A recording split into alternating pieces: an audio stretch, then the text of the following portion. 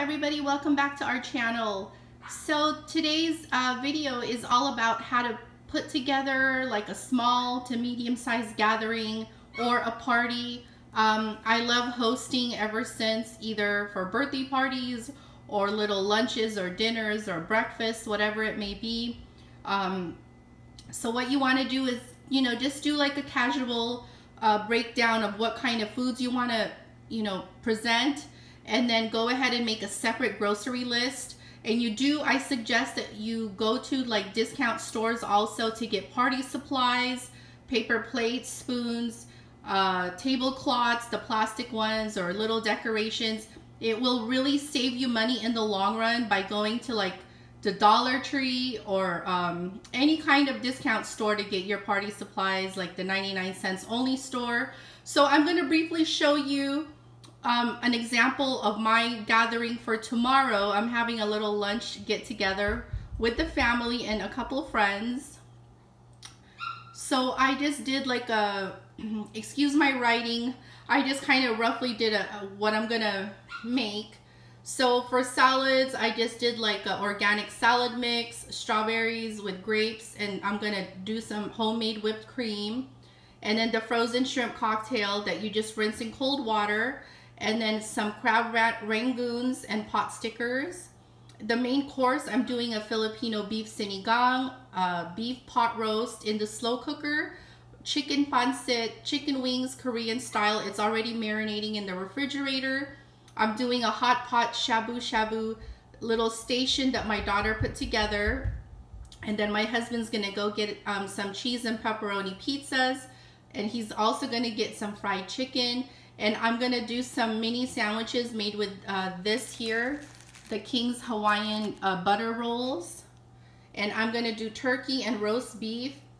Okay, for desserts, I'm doing um, like a Filipino dessert theme and it's the ginataang bilo-bilo, which is uh, like the root, different roots like sweet potato, purple yam with cooked with um, coconut milk, coconut cream, also, it has uh, jackfruit, uh, different things like that, all with ta little tapioca pearls.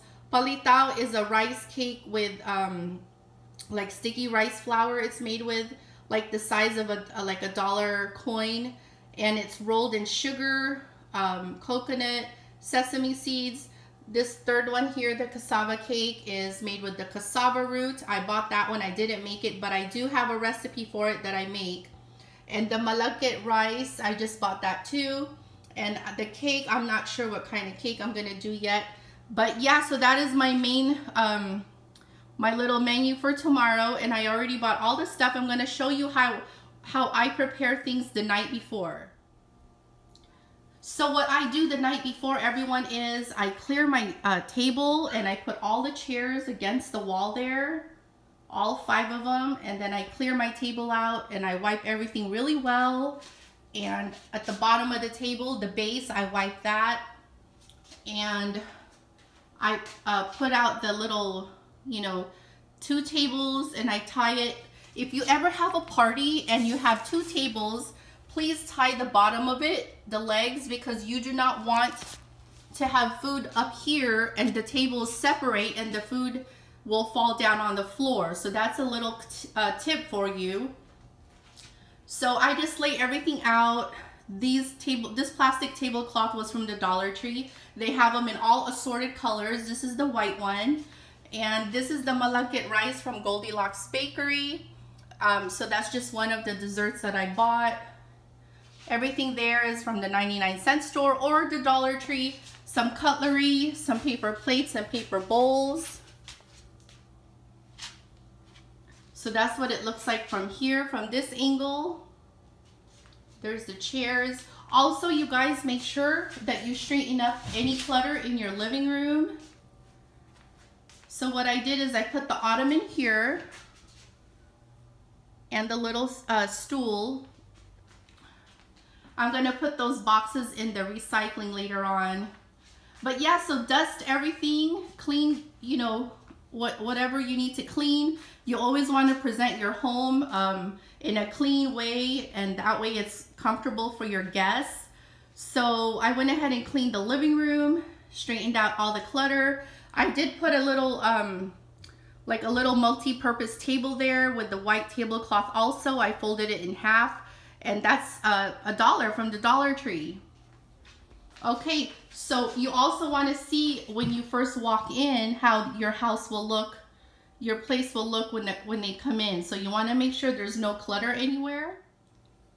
So here is the little shabu shabu hot pot station that my daughter put together. And I only have two bar stools here, guys.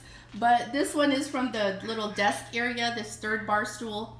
So yeah, we have a cute little countertop and we set it up. I helped her, but she put it together mostly. So we have our little electric cooktop here. And then there's a shabu shabu hot pot. It has a little separator in the middle. Make sure all the pots are clean. These are all clean, washed, and ready to go. And then we have this one, one of our favorites. This one has a grill on the top. So if they want to grill a piece of the meat or salmon or fish they, or shrimp, whatever, they can grill it up there. Then they have their soup down here to dip their veggies and meat in there. And then here's an extra one for the next person that's waiting. They can start to season their um, the, their side, whatever broth they want to use or whatever. If they're going to do shabu, shabu shabu, then they would just put the seaweed and water. If they're going to do hot pot, then they would put their broth and seasonings on, um, on their side. And so my daughter just did like this cute little menu thing. So she just kind of briefly told the guests that if you're gonna do shabu shabu, you're just gonna put um, seaweed, the special seaweed in there and then the um, hot water and then or water to you know warm it up to a simmer and then if you're to do hot pot you're to mix either beef or chicken broth add any seasoning or spice and you're just to swish until it's cooked um, and then it's just telling them they're to dip it in the goma sauce and or ponzu sauce and they're to add the shredded daikon and green onions and mix so that's a little tip for them also this, um, she made like a really cute little thing here, like what kind of meat we're offering, steak, salmon, cold cod, and shrimp. Miscellaneous is fish ball, fish cake, shrimp ball, lobster ball. Veggies is uh, like Napa cabbage, straw mushrooms, green onions, snow peas, zucchini, onions, carrots, and asparagus. And then here are some of the sauces. If you guys ever want to throw a hot pot shabu shabu party, um, you're gonna need one of these, the Goma Shabu.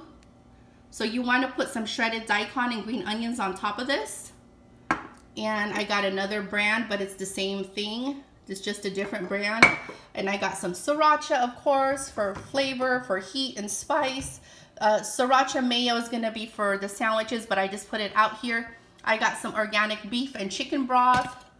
And then this one is, um, it's gonna be for the pot stickers that one there and the um i'm also making crab rangoons and then this is the ponzu. I have two different kinds. This one is like the lemon one and i have the lime one also in the fridge. And then just some dark soy. And then i we also put um these little things here the little because you want to put it in here because you're going to dip your once you swish swish the meat in the hot broth for you know until it's cooked then you're gonna go ahead and uh, take it out with your chopstick and dip it either in the ponzu or in the goma sauce. So that is about like a dozen of them there. And these, you guys, are so affordable from the Dollar Tree. They're three for a dollar. Really nice and, and useful. So that is our cute little uh, hot pot shabu shabu station. So it three people can go at a time if they like because this one here the two bar stools, um, what two people could sit here because there's two dividers. And then one person could sit here or like a, a couple, um, maybe like a husband, wife, or, you know, like a couple where they can share the broth to dip their the meat and veggies in and they can grill their food together. So that's a really fun party idea, you guys. If you ever want to do like a hot pot shabu shabu uh, eating station. There you go. It's a nice little setup with the menu up here. Instructions for them. Okay, you guys, so also another suggestion that I do have is get your whatever you're cooking have your pots ready for it in the morning um, well at night. That way in the morning everything is ready for you to uh, put all your stuff together and what pots you're gonna need. Now I definitely will need these two pots but I'm gonna need a couple more but I just started to put those out now.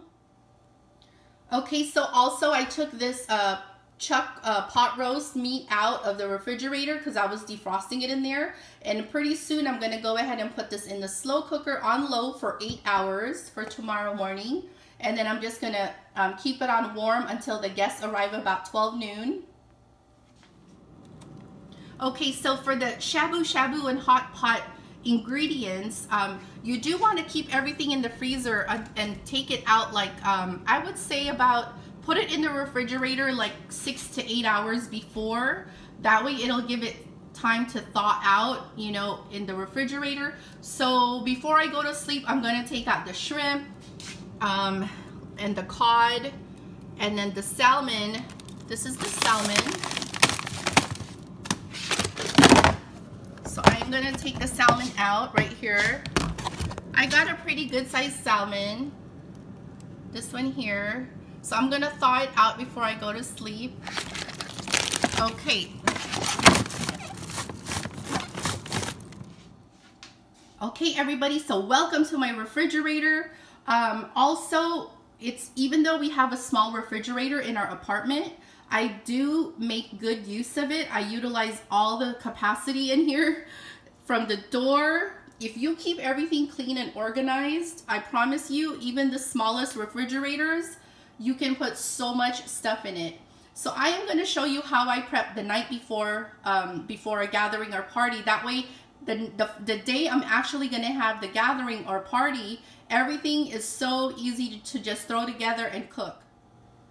So you guys know on the list, I had the um, crab rangoons. So I did already put that together. I defrost or I let the cream cheese sit at room temperature earlier today and then I went ahead when it was at room temperature I put all the stuff in here like the imitation crab green onions and all the spices and then I mixed it really well to a creamy consistency and then I put a saran wrap on that and then I'm gonna wrap that with the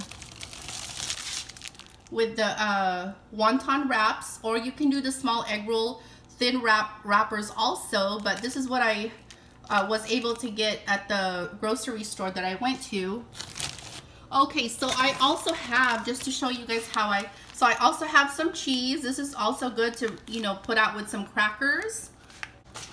And then I also got to make life easier, like a little sushi tray. This one is the um, Hayashi kind. There's all kinds of different kinds, you know, the California roll, spicy, all kinds, but this is the one I got, the little platter. Okay, and here is the Korean uh, chicken wings that's marinating in the Korean marinade. And then also in here, I have the other dessert, the cassava cake. And then over here, I have, I bought a rotisserie chicken. And you guys, if you don't have time to boil chicken and season it, go ahead and buy a rotisserie chicken in your grocery store and just shred it and you can use it for all kinds of recipes. So this one is gonna be for the Filipino pancit noodles that I'm making. I already shredded that. Okay, this is for the hot pot shabu shabu. I went ahead and got lobster balls and lobster and shrimp balls. So this one's a shrimp. And then for the little mini sandwiches, I got the roast beef and the turkey lunch meat. And then here's some veggies that I uh, pre-cut pre and washed. Some daikon. Now this one I already peeled and washed. This is the one I'm going to grate for the uh, sauce for the shabu shabu and hot pot. Also, I have down here Remember to do all of this the day before or the night before. It will make your life so much easier and you will definitely save about two hours to three hours. So this is some serrano uh, chilies. I diced some celery for the pancit noodles. And then some extra veggies right here. Okay, and then I have some cabbage down there. And this whole tray of veggies, you guys, it has asparagus, Napa cabbage, zucchini. Um, but yeah, it's got all the veggies. I'm going to bring that out tomorrow when the party starts. That way the guests can just go ahead and pick whatever veggies they want to put for their, their pot, hot pot. Okay, and here I also have the the enoki mushrooms. This is good for the hot pot shabu shabu. So I got three of those. An eggplant for the sinigang soup. That one I'm to cut up last minute. There's some veggies you want to cut last minute like potatoes and eggplant. Okay, in here I have the daikon radish that I've already cut up for the soup. And I have the green onions. These are the thinly sliced. And then I have some diced onions, some snow peas that I've already washed and cut. All of these have been washed and cut. Here's some more snow peas. Um, one part of the snow peas will be for the soup and one will be for the pancit. Some garlic, I already minced some garlic. Some green onions that I uh, sliced into about an inch and a half long pieces. And of course, some lime, some lemon, and this is the Filipino string, uh, the string beans for the sinigang. And I also sliced up tomatoes for the sinigang. This is Roma tomatoes that I've quartered, three of them. And this one here, the onions, these are uh, kind of half, sliced in half and then cut into about half inch thick pieces. This is for the shabu shabu hot pot and also for the pancit noodles. And then also I have carrots that I'm going to use for that. And then carrots, the little baby carrots is for the pot roast. And then I have the mushrooms here. That's going to be for the hot pot also. Okay, also you guys, I did buy this at the Japanese market. It's the um, like the udon noodles. These were frozen, but I took it out of the freezer and I put it into the refrigerator. So now it is ready to use. You just have to rinse it in cold water and it's ready for them to use, whoever wants noodles. And then I also bought this one here, the ramen noodle at the Japanese market. So there's like two packs in there. But once you you know, take it out and you like wash it and rinse it real quick, it is gonna um, look a lot more. Okay, also I did buy some spinach in case they want some spinach and some, I bought uh, the grapes right here, red seedless grapes. Over here, you always want some kind of salad. I just got some half and half mix. I also got some yummy strawberries and I'm gonna make, make some homemade whipped cream to go with that. Okay, also you want to have some kind of wine um, in case there's people that drink wine. It's up to you. Um, we do have a lot of different wines. We have like watermelon moscatos, Andre Spumante, red wines. And down there in our pantry, we have all kinds of different wines and alcohol. You guys know my husband's a bartender. We don't really drink because of my, uh, you know, I have low tolerance to alcohol. I can't really drink, but once in a blue moon, on occasion, if there's a holiday or something, then we'll drink a little wine or something. But other than that, it just stays there for the guest. So I also have all kinds of variety of yams here, you guys. I have regular, you know, the uh, regular yams. I have sweet potato right here, the sweet potato. And then I, or right here underneath is the sweet potato. This one is a Chinese purple yam. So I am going to be incorporating this into the uh, ginataang bilo-bilo Filipino dessert recipe. It's so delicious. You guys, I have a recipe for it uh, um, on my channel. Go ahead and check that out. Also, we have a cute Betty Boop. Um, I forgot to show you guys. We have a cute Betty Boop glass here. You know, she's my favorite. But yeah, so offer them some chopsticks here. And so you know, that way when they're sitting down, um, also when they're sitting down, you want to go ahead and push this back a little bit so it'll give them room for their little uh, sauce dish and a little plate to have all their little veggies and meat. So also if you're serving up a hot pot plate or hot pot station, you want to go ahead and give them the meat, the fish, um, and whatever other seafood um, as they're eating it. Not Do not put it out because you want to keep those things refrigerated. So when you're serving them a hot pot, like uh, you know, like slices of beef, make sure you keep all of that in the refrigerator and then just give it to them as they need it. That way it doesn't go go bad or get spoiled or anything. But the veggies, you know, you can, um, it doesn't have to be in the fridge, you know, that, that, uh, at that time right away, but make sure all, all the meats and seafood stays in the fridge.